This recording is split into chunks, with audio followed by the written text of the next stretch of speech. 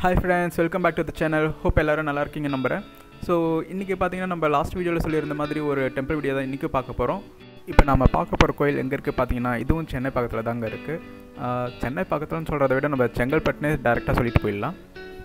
Friends இன்றைக்கி பார்த்தீங்கன்னா நம்ம பார்க்க போகிற டெம்பிள் ஸ்ரீ மகாபைரவர் டெம்பிள் எனக்கு இந்த கோயிலை பற்றி பார்த்தீங்கன்னா இப்போ ரீசெண்ட் டேஸில் தான் தெரியும். ஸோ நான் மேப்பில் வந்து நியர்பையில் ஏதாச்சும் பிளேசஸ் இருக்கான்னு செக் பண்ணும்போது தான் எனக்கு இந்த கோயில் இருக்குது தெரிய வந்துச்சு.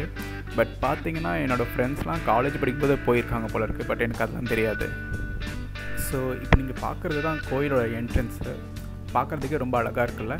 ஸோ இந்த காம்பவுண்ட் வாலில் இருக்கிற பார்க்குறீங்களா சின்ன சின்னதாக கோபுரம் மாதிரி இருக்குல்ல எல்லாமே வந்து பார்த்திங்கன்னா ஒவ்வொரு சிவலிங்கமாக வந்து வச்சுருக்காங்க. நீங்கள் உள்ளே என்டர் ஆனதுமே பார்த்தீங்கன்னா ஒரு லக்ஷ்மி சிலை வச்சுருக்காங்க. ஸோ அதுக்கப்புறம் பார்த்தீங்கன்னா அந்த கோயிலோட கொடிமரம் இருக்குது அதுக்கப்புறம் பெரிய ஒரு சிவலிங்கமும் நந்தியோடு இருக்குது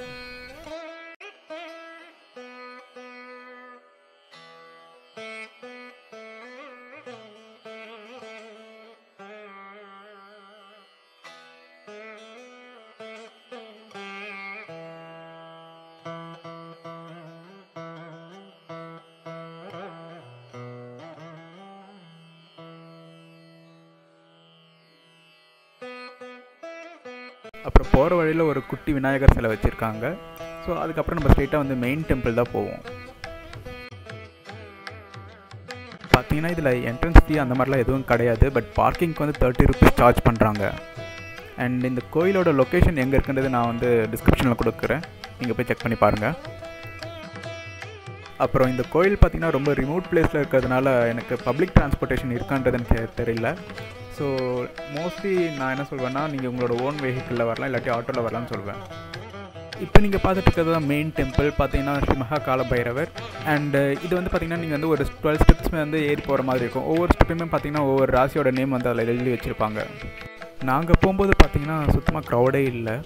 அண்டு ரொம்ப பீஸ்ஃபுல்லாக இருந்துச்சு. பீஸ்ஃபுல்லாக மட்டும் இல்லை பார்க்குறதுக்கே கோயில் ரொம்ப அழகாக இருந்தது.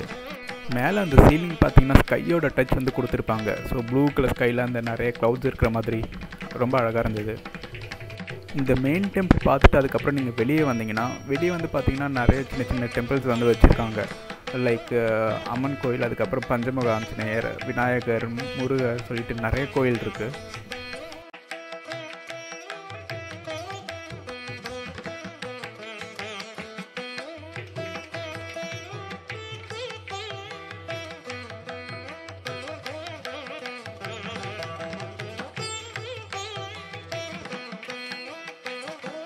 அப்புறம் ஓப்பனிங் டைம் பார்த்தீங்கன்னா morning seven to evening eight o'clock வரைக்கும் இருக்கும்னு நினைக்கிறேன்.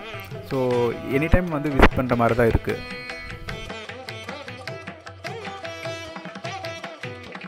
அப்புறம் இப்போ நீங்கள் பார்க்குறது தான் வந்து குகை கோயில் சொல்லுவாங்க. அதாவது கேவ் டெம்பிள் இது வந்து பார்த்திங்கன்னா மேன்மேடு தான். அண்டு பட் ரொம்பவே சூப்பராக இருக்கும். அழகாக இருக்குது உள்ளே பார்த்தீங்கன்னா.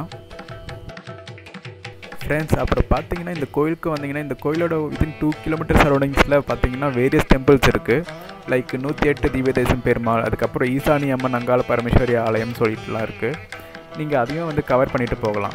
பட் நம்ம வந்து அதெல்லாம் எடுக்கல. இன்கேஸ் நீங்கள் வேணும்னு நினச்சிங்கன்னா நம்ம கமெண்ட் பண்ணுங்கள் நம்ம ஒரு தடவை ட்ரை பண்ணி பார்க்கலாம்.